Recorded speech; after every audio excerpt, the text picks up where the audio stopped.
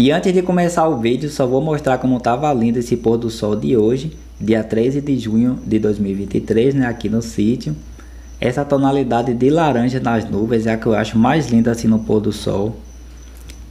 Tinha muito mais cor, a, a cor assim tava muito mais viva nas nuvens desse laranja, mas não consegui captar completamente assim com a câmera, né? Eu acho muito bacana essas paisagens naturais assim.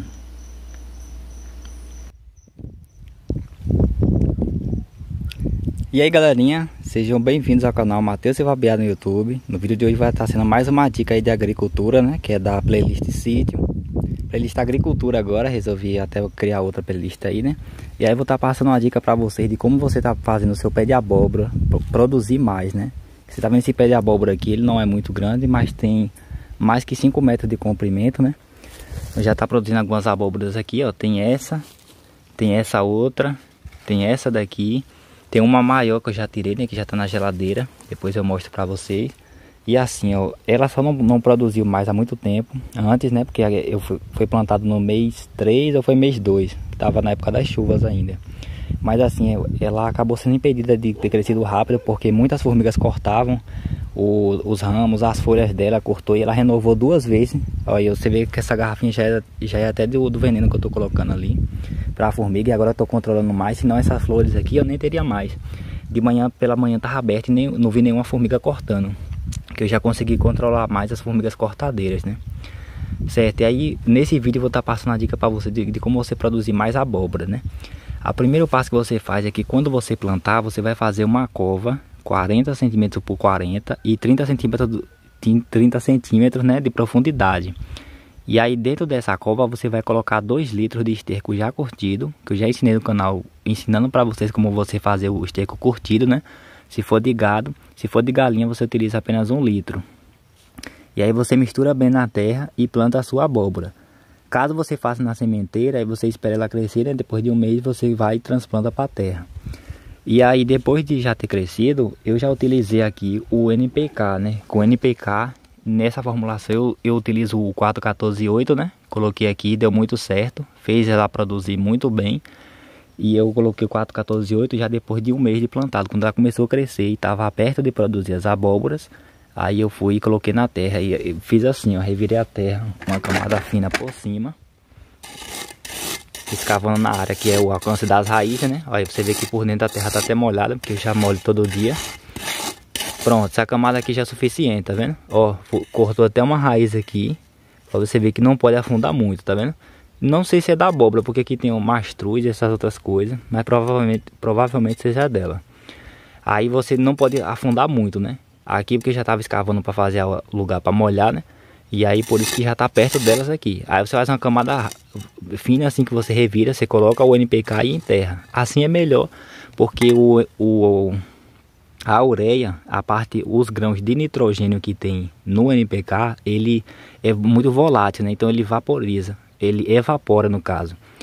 E isso faz com que você perca boa quantidade dele. Então o ideal é que você enterre para você ter o um melhor aproveitamento. Outra coisa é fazer a fertirrigação. Essa fertirrigação já fiz duas vezes nessa planta, vou até colocar as datas aí onde eu fiz. Hoje já vou estar fazendo outra, né? E eu ensinei no, no canal como fazer o adubo líquido esse adubo líquido aqui é muito bom também, fez ela produzir mais abóboras ainda. Vou estar colocando mais 2 litros hoje, né? E mostrar para vocês aqui depois que eu revirar a terra mostrar para vocês como fazer. E tem outra dica também que você precisa fazer, que é uma das coisas mais importantes ainda. Você vai perceba como esse pé, o, o pé, o início no caso onde está a raiz, né, que é o, o início da planta é aqui, ó, tá vendo? Aqui tem o caule dela, o tronco, que é onde ela, ela começa. E aí você vai ver que as galhas que são maiores, ó, ela tá com as pontas que ela vai continuar crescendo. Inclusive aqui tem até uma abóbora quase se desenvolvendo, não sei se vai para frente, se ela vai crescer muito, né? Mas o que você vai fazer é cortar o olho, as pontas que ela vai crescer, né? Essa essa tesoura aqui eu acabei esterilizando, né? Passei um algodão com álcool, é bom você fazer isso para evitar doenças, né? E é bom você cortar ao invés de você quebrar, porque se você quebrar e acabar arrancando lascas da, do caule, vai ficar uma ferida maior, né? E aí insetos vão começar a entrar ali e pode até adoecer essa planta. Então o ideal é você cortar mesmo, para ficar uma, uma, uma precisão assim na hora de cortar e não ficar assim uma ferida na, na planta, né? Na outras pontas aqui a gente vai ver a, os galhos que são maiores. Ó, aqui já tem outra ramificação dela, tá vendo? Que é esse outro galho e ele vai continuar crescendo. Por que você tem que fazer isso? A planta quando ela começa a crescer, ela utiliza a seiva a seiva dela, né, que são os nutrientes, a água, tudo que ela capta do solo, e ela manda para as folhas e os galhos também, que é para o crescimento da, dessa planta. Então ela vai fazer a fotossíntese através da, das folhas e com isso vai produzir o próprio alimento, né? E aí eh, vai, vai essa planta vai começar a ter o crescimento. E quando essa seiva elaborada vai diretamente para o crescimento da planta, isso é, demanda energia dela, né? Vai ser os nutrientes que ela está captando, boa parte dela vai ser só para o crescimento. Quando você corta os ramos que já depois da planta já ter crescido, que aqui ó, ela não precisa crescer mais. Já chegou no, a mais de 5 metros de comprimento, não precisa crescer tanto. Agora ela tem que começar a produzir. Por isso que você tem que interromper o crescimento dela, porque a gente não vai querer um monte de galho, né? A gente vai querer frutas que são as abóboras.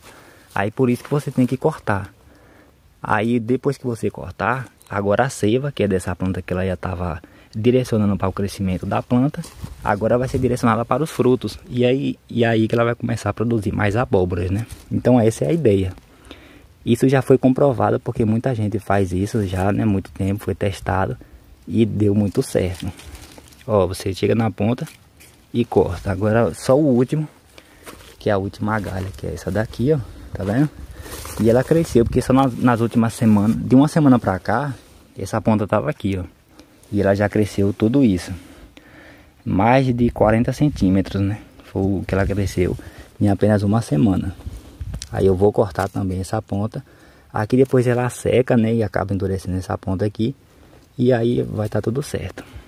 Pronto, aí depois, tendo o resultado aqui, ela começar a crescer muito mais abóboras.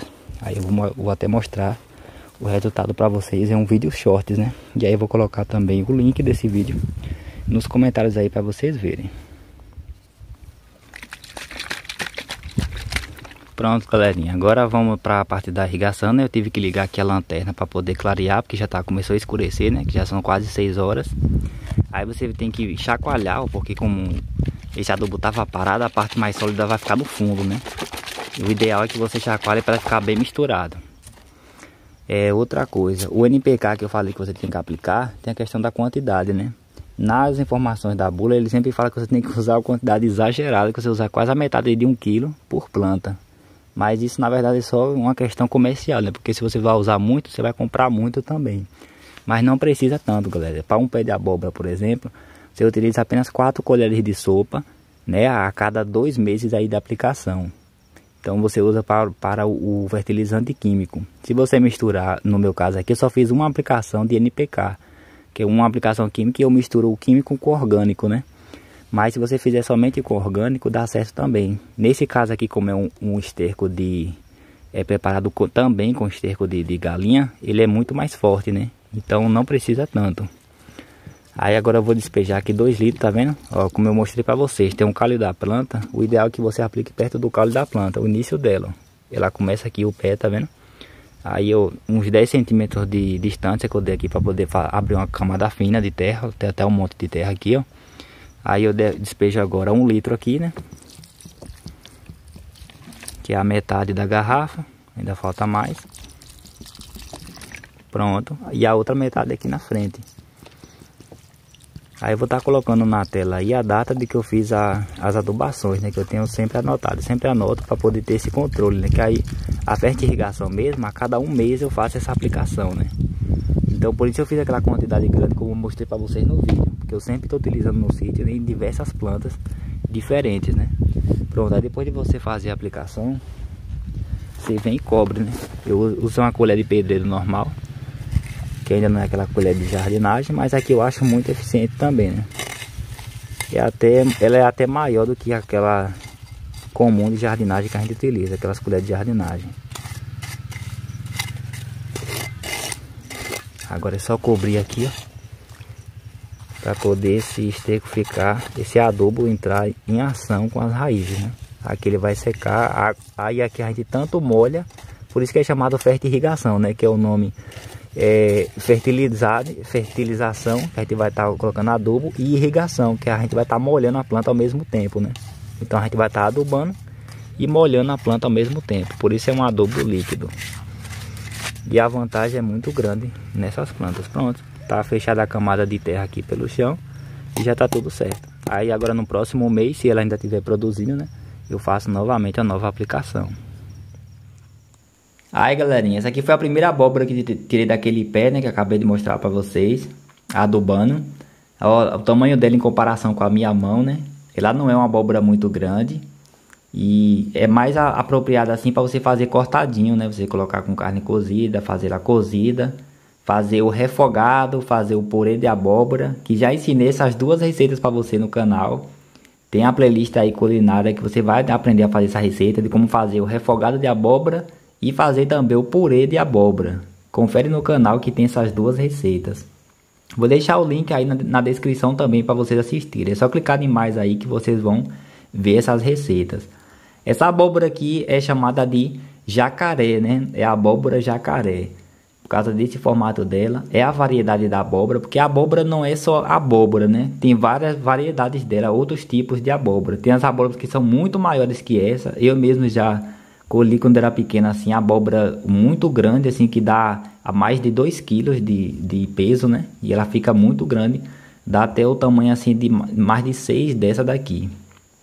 E o tamanho dela é assim mesmo, né? Pequenininha, por isso que ela é mais apropriada para fazer cortadinho, né? Fazer... Muita gente conhece o refogado de abóbora como cortadinho, né? Cortadinho de abóbora e fica muito boa. E aí foi o resultado, né? Lá tá nascendo, crescendo mais três agora. Depois eu mostro no canal novamente aí o resultado das outras. Espero que vocês tenham gostado. Deixa seu like no vídeo você está assistindo, certo? Inscreve-se no canal se você é novo para estar tá ajudando o canal a estar tá crescendo. Compartilhe esse vídeo com quem planta abóbora aí também e vai estar tá aprendendo essas dicas. Valeu e até o próximo vídeo.